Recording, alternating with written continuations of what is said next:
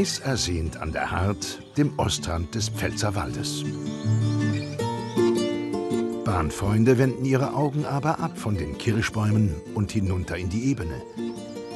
Zwischen Rhein und Hart sehen die Gleise aus, als wären sie mit dem Lineal gezogen.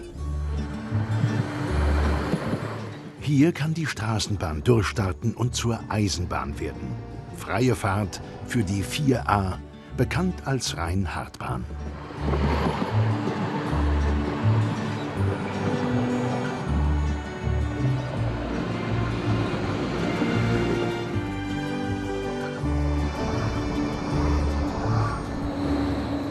Anfang März in Mannheim.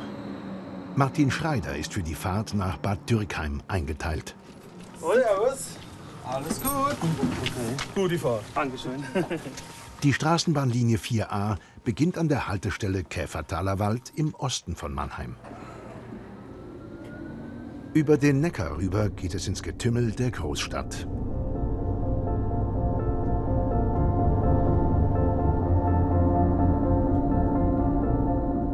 4a gehört zu den Straßenbahnen der RNV. Die Rhein-Neckar-Verkehr GmbH betreibt, so sagt sie selbst, Deutschlands größtes Meterspurnetz. Über den Rhein rüber nach Ludwigshafen. Die 4a verbindet Baden-Württemberg mit Rheinland-Pfalz. Im Jahr befördert sie gut zwei Millionen Menschen. Aus dem alltäglichen Leben ist sie nicht wegzudenken.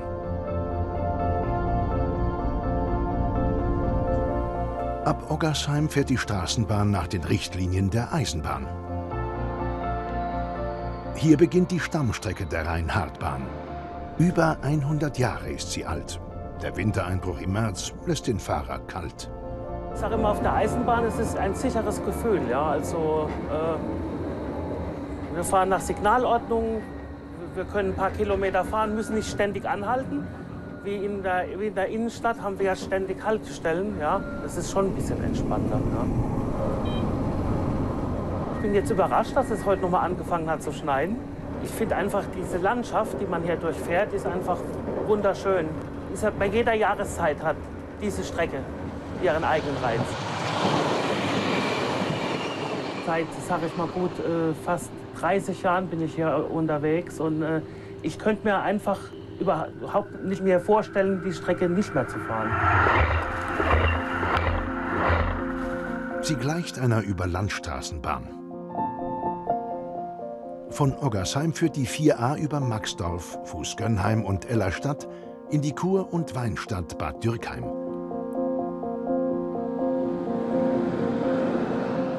Nach Bad Dürkheim lockt heute vor allem der Wein. Immer im März lädt die Stadt zum Weinbergsglühen ein.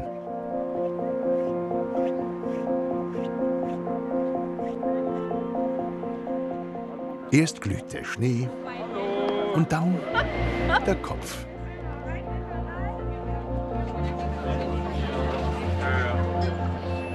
Lauter vernünftige Weintrinker.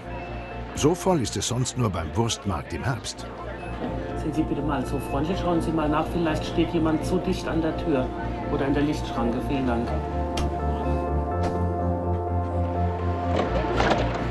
Mit zusätzlichen Bahnen versucht die RNV dem Andrang gerecht zu werden. Gegen Mitternacht hoffnungslos. Eine Bitte an die Fahrgäste, sind Sie so freundlich, lehnen Sie sich bitte nicht an die Türen. Ich wiederhole bitte, nicht an die Türen anlehnen. Vielen Dank. Warum ich mir das hier antue,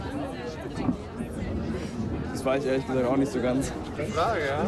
Irgendwie muss man Hype kommen. ist besser, als sich jetzt ins Auto zu setzen. Was der eine oder andere bestimmt auch heute Abend macht. Ja. Deswegen lieber Bahn fahren und guten Ausgang. Ja. Spaß macht es nicht, aber was ist die Alternative? Gerade wenn es voll ist, wenn es voll ist, äh, da lernt man immer Leute kennen. Das ist eine richtige, richtige Pfälzer, Pfälzer Kulturart hier, so eine Bahnfahrt. Zurück am Mannheimer Hauptbahnhof. Hier entspannt sich die Lage. Ja, also war ordentlich was los heute. Und morgen ist ein neuer Tag, also fahren macht immer Spaß. Und so sieht der nächste Tag aus.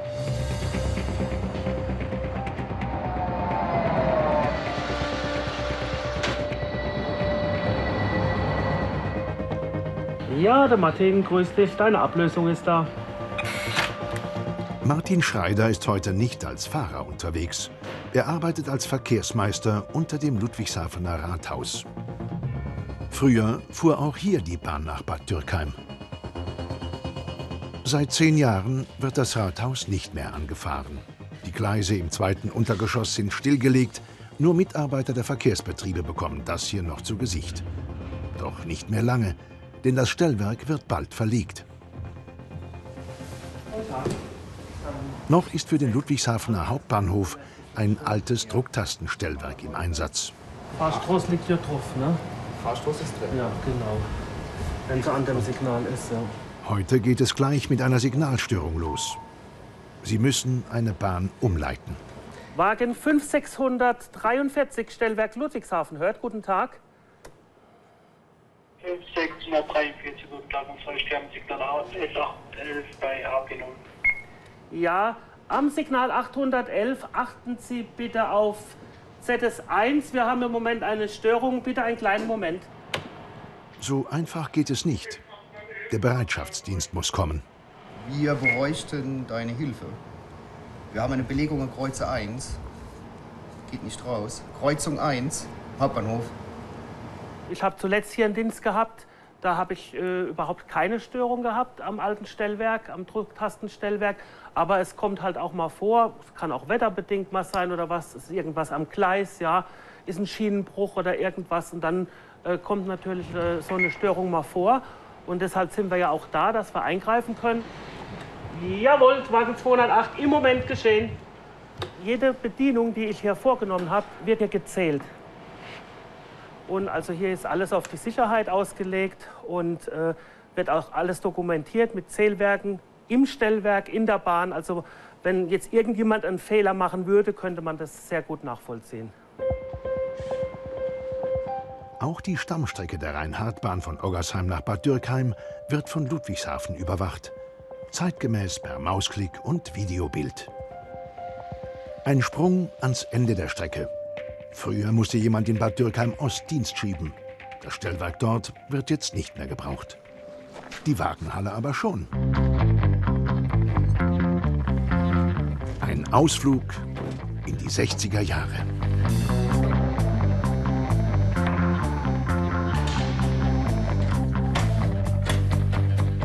Damals wurde der Triebwagen 1017 gebaut. Als junger Fahrer ist Martin Schreider mit ihm unterwegs gewesen.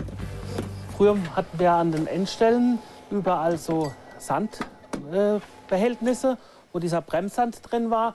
Und äh, die Fahrer, wir waren ja alle dann selbst verantwortlich, dass immer genügend Sand im Fahrzeug war. Und wenn die Fahrgäste an der Endstelle eingestiegen sind und ich kam dann mit äh, diesem Sandbehälter, um aufzufüllen, dann haben die Leute ganz skeptisch geguckt und ganz verwundert und haben gefragt, was machen Sie da? Und da habe ich dann gesagt, ich äh, fülle Sand nach. Und für was Sand? Na, zum Bremsen und ja, also kamen erstaunte Gesichter. Also äh, haben es viele gar nicht glauben können, dass eine Straßenbahn Sand braucht. Beim Anfahren, wenn es zum Beispiel anfängt zu regnen, im Herbst beim Laub, sind die äh, Schienen sehr schmierig. Und da ist es unheimlich wichtig, dass wir genügend Sand haben. Bei der neuen Bahn ist es, äh, ich, habe ich einen ganz kleinen Knopf. Die Bahn macht es auch automatisch bei der neuen Bahn. Ja. Äh, wenn die Bahn merkt, sie kommt ins Schleudern, dann fällt da automatisch Sand. Aber hier muss ich noch alles selbst machen. Man hört es dann auch manchmal am, am Fahrgeräusch. Oh, eben merke ich, die Bahn kommt ins Rutschen. Und dann kann ich hier Sandmetall betätigen. Und solange ich dieses Sandmetall betätige, öffnet sich unten eine Klappe. Und dieser Sand äh, fällt also durch ein Sandrohr direkt vor das Rad. Früher hat er auch selbst Fahrkarten verkauft. Ich habe äh, hier äh, einen ganz anderen Kontakt zu den Fahrgästen gehabt. Ich war nicht so eingeschlossen, ich habe alles offener. Und äh, die Leute sind ja direkt hier eingestiegen. Man hat gewusst, um die in die Uhrzeit äh, steigt der Herr so und so ein. Ja? Und die Leute haben dann auch äh, oft gesagt, ah, ich habe jetzt zwei, drei Wochen Urlaub. So nach sie brauchen nicht auf mich zu warten. Ja? Die haben also auch ihren Sitzplatz gehabt sozusagen. Die haben sich da immer hingesetzt, die haben sich wohlgefühlt, die sind mit der Bahn immer nach Hause gefahren. Und äh, hat auch schon dann ein Herr dann gesagt, ah, äh, der Herr so und so kommt heute nicht, ähm, der ist beim Arzt. Ja, äh, also da war wirklich ein Kontakt da, das, das, das, kann man sich heute überhaupt nicht mehr vorstellen. Ja? Aber es war eine sehr schöne Zeit. Heutzutage kommt der Düwag-Triebwagen nur noch bei Sonderfahrten zum Einsatz.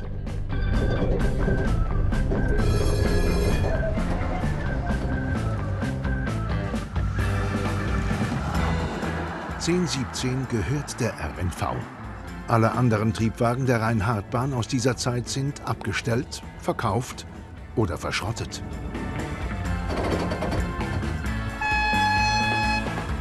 Die Bahnfreunde und die Interessensgemeinschaft Nahverkehr dürfen 1017 gelegentlich nutzen. Zur Freude der Hobbyfotografen in den Vereinen.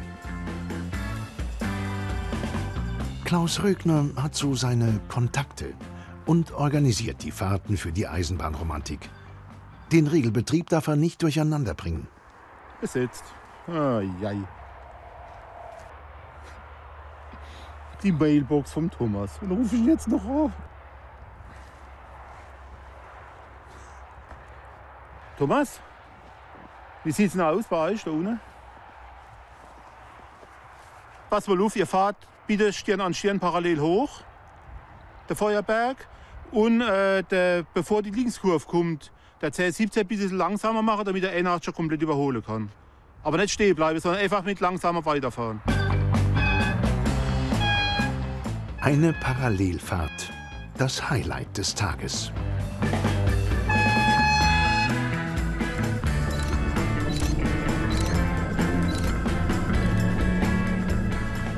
Der 60 stammt ebenfalls aus den 60ern, ist aber kein Triebwagen der Rhein-Hart-Bahn. Die RNV vermietet ihn und so kommt auch er schon mal nach Bad Dürkheim. Die einen haben die Eisenbahn zum Spielen, wir haben die Rhein-Hart-Bahn zum Spielen. wir können praktisch selber bestimmen, was wir äh, fahren wollen. Die Idee, was wir haben, äh, wird dann bei der NV vorgetragen. Und wenn die sagen, okay, das können wir machen, dann machen wir das. Und dann spielen wir mit der Eisenbahn. Die Leute müssen halt auch mitmachen. Es gibt halt auch manche, die sagen, oh, was wollt ihr wieder? Und ah, die Eisenbahnfreunde wieder kommen. Oder der Kasperleszug ist wieder unterwegs und der Eisenbahnfreunde. Aber im Großen und Ganzen sind wir da sehr zufrieden und es klappt auch meistens. Und der Aufwand, ja, ja, es geht. Noch eine Zugabe hat Klaus Rügner auf Lager die Diesellok V01. Er hat sie nach Bad Dürkheim geschickt. Das ist ein einmaliges Bild und das kriegt man eigentlich so gut wie nie. Deswegen hoffe ich, dass kein Auto kommt. Werden wir dann sehen. Wenn nicht, fluche ich lautstark. Lok und Kirche sollen gemeinsam ins Bild. Jetzt kommt erst mal die Bahn, die kann man schon mal fotografieren. Ein Testbild machen. Natürlich mit Auto. Ja, so soll das dann nicht aussehen. Die Diesellok ist von 1955, wird aber teilweise noch zum Abschleppen von Fahrzeugen verwendet. Na, also. Weit und breit kein Auto in Sicht. Was aber noch lange nichts darüber aussagt, ob der Fotograf mit dem Ergebnis zufrieden ist. Sehr zufrieden. Hat sich gelohnt, in der Kälte rumzustehen. Auch hier sind Vereinsleute aktiv. Holger Blaul sammelt, was er von der Rheinhardbahn finden kann. Nach einem Schlaganfall ist er gehandicapt, doch die Leidenschaft nicht eingeschränkt. Seine Freunde unterstützen ihn, wo sie können.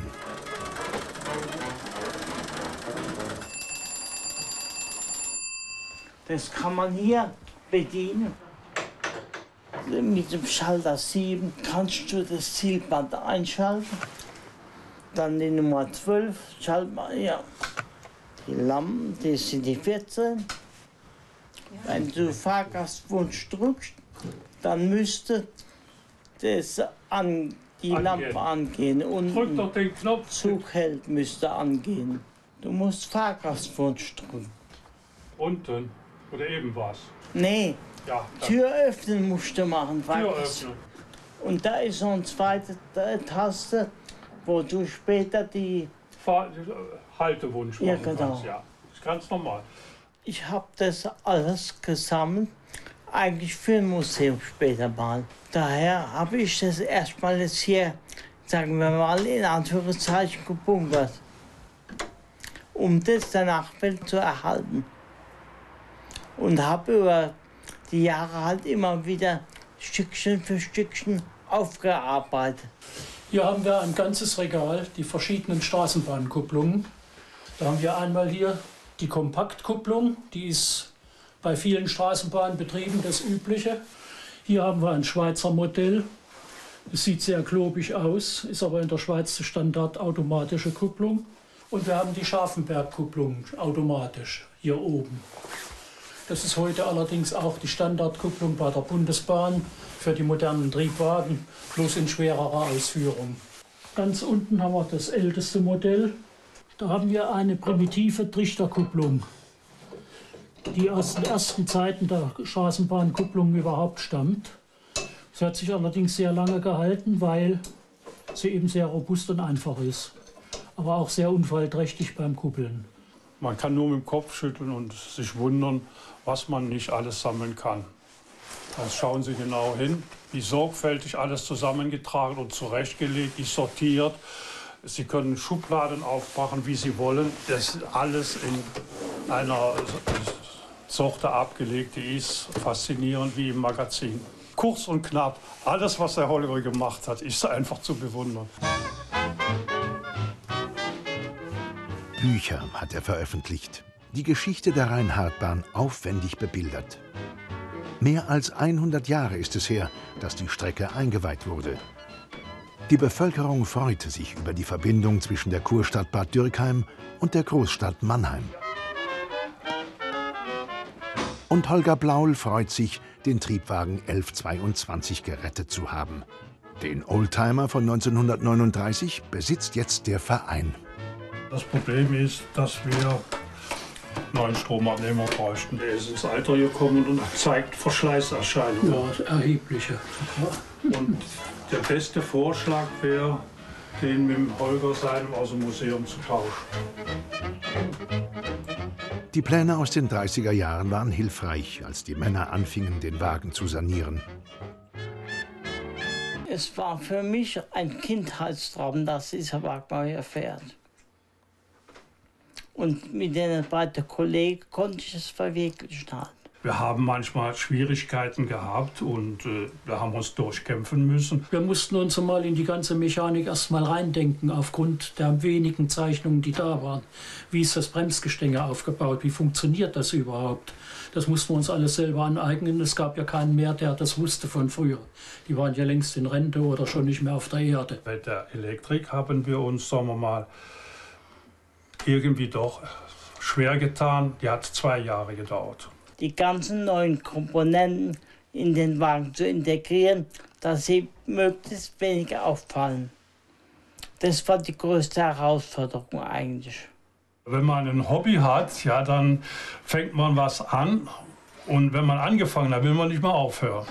Ja, da ist ein bisschen Ehrgeiz drin, ja. Wenn ich körperlich wieder kann, habe ich schon Pläne, aber das weiß ich ja nicht, das Glücksspiel.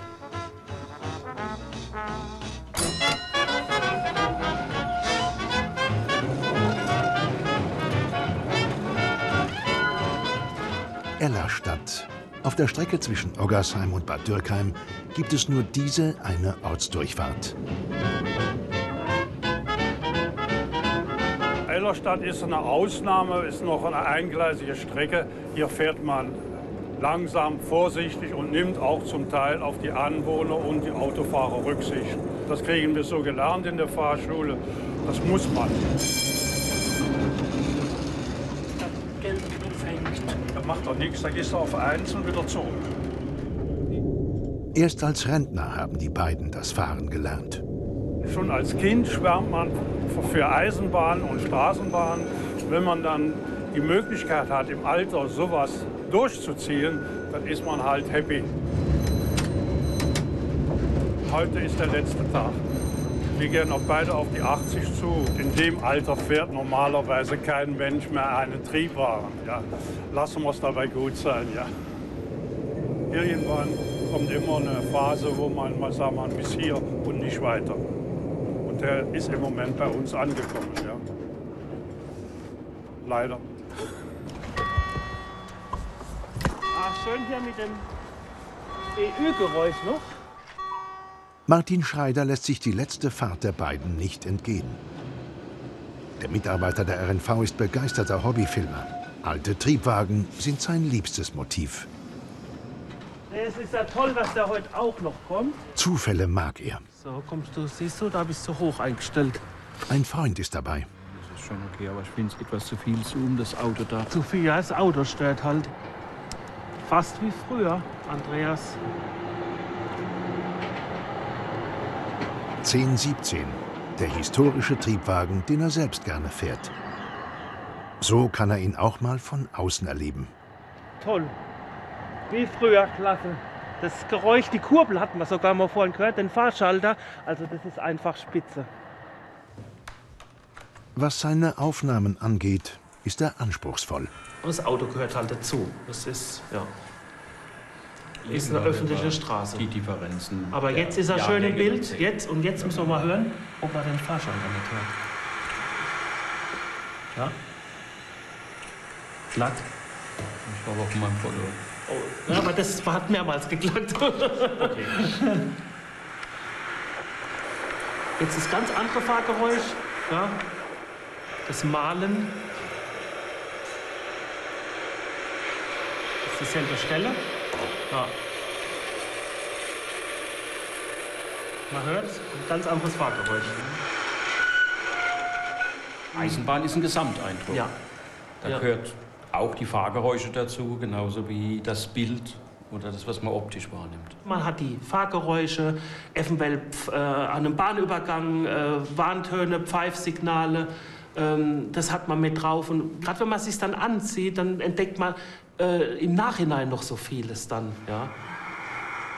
Seit fast 30 Jahren filmt er an der Strecke. Er besitzt auch Aufnahmen von den einst längsten Straßenbahnen der Welt. Die Zwölfachser, von denen nur einer übrig geblieben ist, hat er auch gesteuert. Die Fahrzeuge sind sehr schnell ins Gleiten gekommen. Also ein paar Tropfen Regen. Da hat man also wirklich Sand gebraucht zum Anhalten oder so. Ja. Und bei den neuen Fahrzeugen, da ist der Sollwertgeber nach vorne fahren, nach hinten bremsen.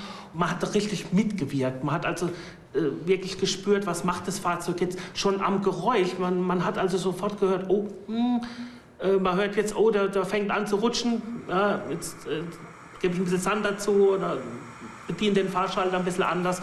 Also äh, man ist auch nach dem Gehör gefahren.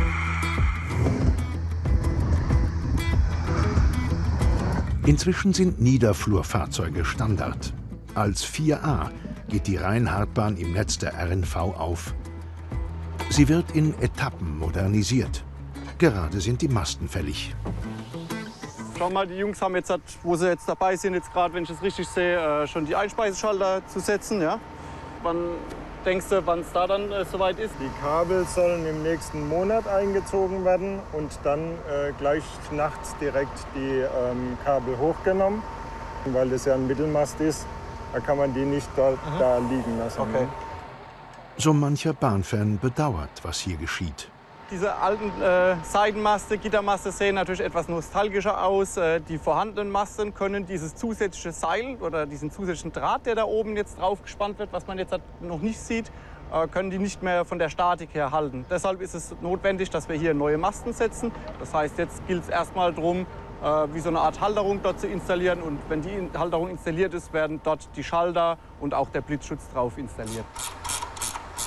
Diese Modernisierung ist wichtig, da wir mit äh, mehr Zügen fahren wollen. Das heißt, unter anderem ist es so, dass äh, wir mit äh, zwei aneinander gekoppelten Zügen fahren wollen. Das nennt sich Doppeltraktion. Und diese Doppeltraktion, diese Züge brauchen auch mehr Strom.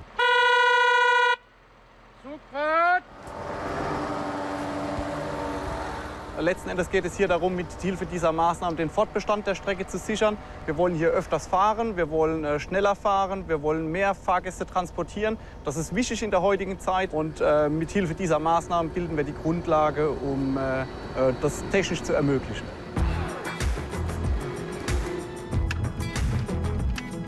Martin Schreider schätzt die Arbeit in einem fortschrittlichen Betrieb. Heute ist er als Verkehrsmeister mit dem Einsatzwagen unterwegs. Jeden Tag was Neues erleben, ja, und gerade bei unseren äh, Wechselschichten und verschiedenen Diensten an verschiedenen Orten, äh, da hat man also auf jeden Fall äh, keine Langeweile. Ja, der Funkwagen hört. Ja, Frage, bist du schon an der Weiche 991? Richtig, ich bin jetzt angekommen, da war ich 991. Ähm, du könntest mal umlegen, dann kann ich mal schauen, ob ich irgendwas feststellen kann. Einen kleinen Moment, stell sie um. Im Großen und Ganzen laufen die Weichen eigentlich ohne Probleme. Aber es kommt immer mal vor, dass durch schlechtes Wetter oder andere Einflüsse irgendwas mal in der Weiche drin ist, ein bisschen Schmutz reinkommt oder da hat sich durch den Wind eine Tüte in der Weiche verhangen. Ja? Und äh, dadurch äh, war die Weiche quasi nicht in der Endlage. Also es sind auch mal ganz kleine Dinge, die man sehr schnell beheben kann. Ah, da kommt gleich ein Zug von Bad Dürkheim. Kann ich die Weiche wieder zurücklegen? Ja, und dann kannst du mir sagen, ob alles in Ordnung ist. Ein kleiner Moment, seid ihr raus? Weiche läuft? Ja, wir sind draußen. Die Weiche ist bei mir in Endlage, so wie ich das sehe. Wie sieht es denn bei dir aus? Alles in Ordnung? Jawohl, sieht gut aus. Störung ist, wird nicht mehr angezeigt. Danke dir. Alles klar. Bitte schön, ruhigen Dienst noch. Ein störungsfreier Betrieb ist vor allem wichtig, wenn der Chef Bahn fährt, was durchaus vorkommt. Dem Geschäftsführer der RNV liegt die Rhein-Hart-Bahn persönlich am Herzen. Ja, ich bin ja geboren und aufgewachsen entlang der Strecke, bin äh, von hier aus auch äh, direkt äh, in die Schule gefahren, viele Hausaufgaben gemacht hier in der Rhein-Hart-Bahn, also viele Erinnerungen. Christian Volz glaubt an das Angebot, auch wenn der neue Expresszug zwischen Oggersheim und Bad Dürkheim bisher nicht viel schneller ist. Auf der Straße ist immer mehr los. Äh, parallel äh, ist äh, auf den Autobahnen ist, ist voll. Nach Mannheim ist es recht voll und insofern ist es eine tolle Alternative, mit der Rhein-Hart-Bahn äh, in die Städte reinzufahren, aber auch im Freizeitverkehr. Und das ist schon ein sehr wichtiges Angebot für die Region, würde ich sagen. Ich denke, für die Schüler ist es auf jeden Fall unverzichtbar. Ähm, für äh, Pendler ist es einfach eine gute Alternative zum Auto. Und Rentner sind genauso anspruchsvolle Kunden wie andere und erwarten, dass wir schnell sind und häufig fahren, äh, dass wir zuverlässig fahren. Und äh, wenn wir das schaffen, dann kriegen wir auch die Senioren. Bei diesen Rentnern geht die Rechnung auf. Ich schnell oben, Bad Tierkheim. Und man viel konnte Umwelt betrachten alles. Alles betrachten außenrum. Vom Auto nicht sieht, weil man gucken muss. Vormittags ist die Bahn angenehm leer. Doch lohnt sich das? Wir fahren den ganzen Tag den gleichen Takt. Das machen wir an anderer Stelle auch so im Streckennetz. Äh, natürlich auf die einzelne Fahrt gerechnet lohnt sich das nicht. Aber ich denke, wenn man zwischendrin weniger fahren würde, dann würde man auch viele Kunden verlieren. Äh, die Erwartung in der Öffentlichkeit ist einfach da. Äh, und äh, auch von der Politik ist sie da, äh, dass der Nahverkehr ausgebaut wird und nicht nur als äh, zwangsweise Alternative gesehen wird, sondern als richtig gute Alternative, die dem Auto überlegen ist. Es steigt ja auch das Umweltbewusstsein in der Bevölkerung. Und äh, insofern gibt es sehr viele Wünsche und sehr viel Druck auch, äh, dass dieses ökologische Angebot weiter auszubauen, häufiger zu fahren und mit schöneren, neueren Fahrzeugen zu fahren. Das haben wir uns fest vorgenommen. Bad Dürkheim, Bahnhof. Fahrtende, bitte aussteigen. Entspannt ans Ziel und den Frühling genießen. Die Hart lädt zum Wandern ein. Dabei begleitet einen die Gewissheit, dass dreimal in der Stunde eine Bahn kommt, die eine vielversprechende Zukunft hat. Die Rhein-Hart-Bahn.